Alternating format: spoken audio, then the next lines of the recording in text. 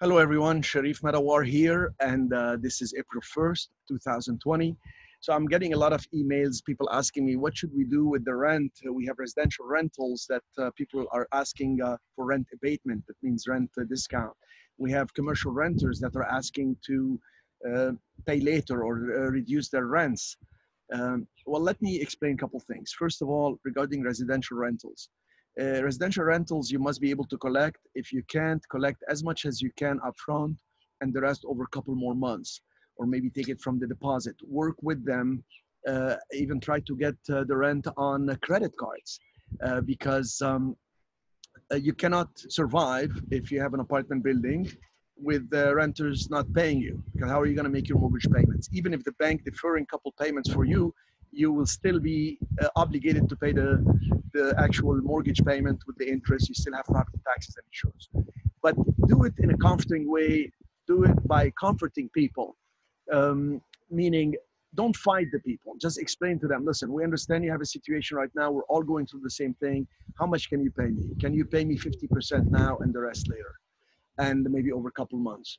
People know they have to pay. They're going to test you. They're going to ask you. So try to work with them and be reasonable.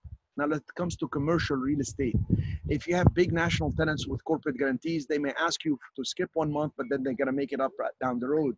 But smaller commercial tenants may ask you to reduce the rent going forward, and you can do that, and you shouldn't do that. Just ask them to pay you at least 50% now, and the other 50% either on credit card or over maybe two to four to six months payments.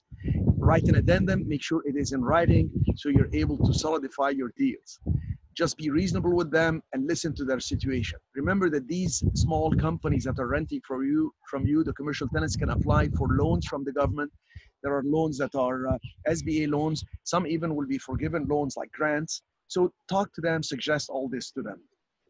Um, when I say take credit cards, you have to understand you can actually set up a, a PayPal account. You can go on PayPal, set up an account, and when you set it up, you can invoice people.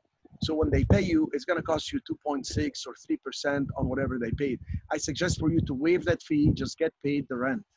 Um, having landlords saying to me, I don't know, maybe I should not collect any rent for a month or two, you're going to get killed because as you see, people couldn't last 30 days with the, without the regular paycheck or without the regular economy working. And we are the wealthiest country in the world.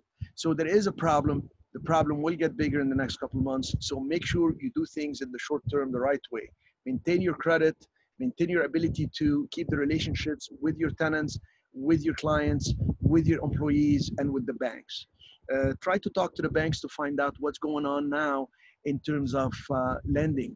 Interest rate went down, but are they lending? Do they know what they want? What terms do they have? Stay close to them, talk to the brokers, talk to the lenders directly, and figure that out. And um, as I always say, keep cash reserves if you're going to do some deals right now, make sure you buy time before purchasing, do it an option, take time to close your deal, do maybe a lease with an option. Uh, if you're going to sell anything, be creative, see if you can carry some financing, see if you can work some terms with the buyers so you can encourage them and be clear with people. Explain to them you understand that they're, they're afraid, they're confused. The good news is, you know, I do a lot of business in Old San Juan, Puerto Rico, where we have cruise ships, have commercial buildings, residential buildings, office buildings, hotels. And the good news is um, Disney is already announcing coming on April 28th. We have cruises on May 4th, May 8th, May 10th, Carnival, Princess, etc. So a lot of cruises are starting to come. Uh, uh, Branson, uh, Richard Branson announced that Virgin Voyager, his new cruise line, is starting in July. Uh, after they were so afraid to launch uh, because of the coronavirus, they announced it's going to be July. So we predict with all the money they're printing and all the brouhaha happening in the market and all the sadness and confusion, we predict that by the end of May, things should start stabilizing. June will be better, July will be better, and hopefully recover within less than six months. Thank you so much. Stay safe, and uh, may the best happen to you and your family. Much appreciated.